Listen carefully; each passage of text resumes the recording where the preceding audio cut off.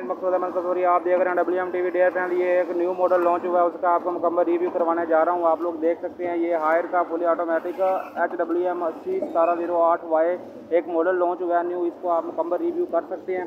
ठीक है जी, ये आप देख सकते हैं Haier motor warranty ten year है और पी सी बी किट की थ्री ईयर की वारंटी है।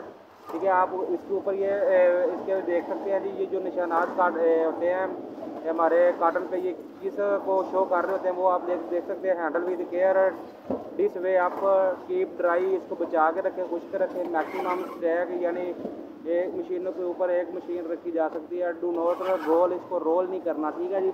आगे मज़ीद इसका मैं आपको बैकअप और बताता हूँ। नाजीन वो आगे उसका फ्रंट साइड थी, ये बैक साइड है, ठीक है जी? मशीन का भी आपको मुकम्मल रिव्यू करवाया जाएगा, ठीक है? आप साइड व्यू नाजरीन, ये देख सकते हैं आप लोग हायर ये मुकम्मल पैकिंग काटन का पहले रिव्यू है, इसके बाद वो वॉशिंग मशीन का भी रिव्यू करवाया जाएगा आपको, ठीक है?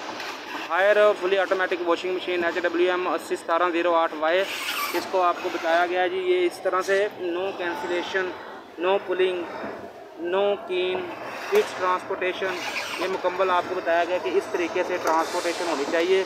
ठीक है जी, और कोई तरीका इसको खींचने या या ये ठेस लगाने का नहीं है।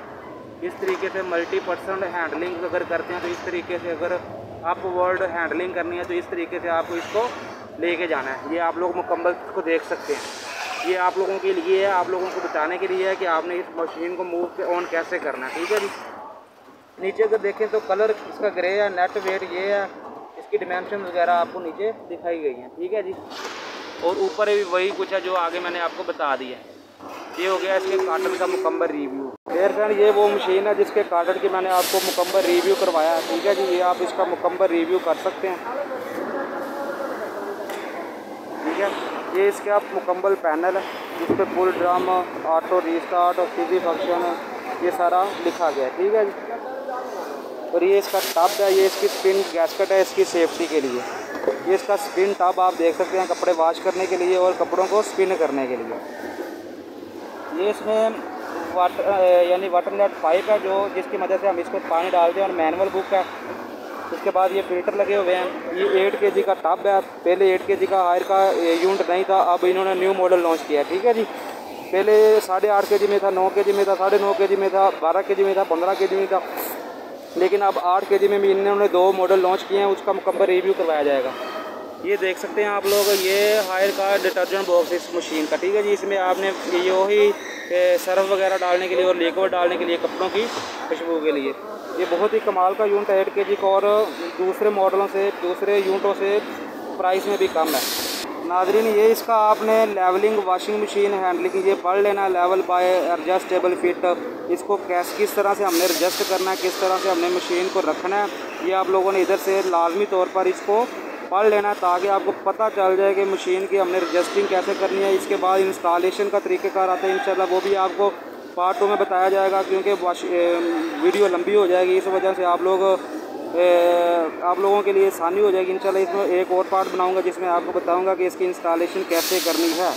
नाजरीन, ये इसका वाटर लेट वाल है, जो जो कि पैप दिखाया गया आपको वॉशिंग मशीन के अंदर था, वो इधर लगता है इस पानी इंटर होने के लिए, ठीक है जी?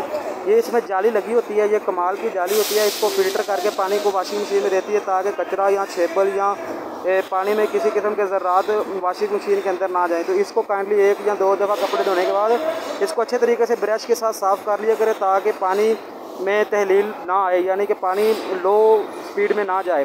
पानी की जिस स्पीड जो स्पीड चाहिए वॉशिंग मशीन को उसी स्पीड से जाएगा, अगर ये जाली में खलल नहीं होगा, रुकावट नहीं होगी तो इस तो इस जाली को आप लोगों ने अच्छे तरीके से लाजमी तौर पर वाश करना है। तो ये था आज का न्यू मॉडल ठीक है जी अस्सी सतारह ज़ीरो आठ वाई कमाल का यूनिट है। ये मार्केट में अवेलेबल आज से स्टार्ट हो जाएगा। ये कमाल का मुझे यूनिट लगा ये दूसरे यूनिटों से अच्छा है। ठीक है जी।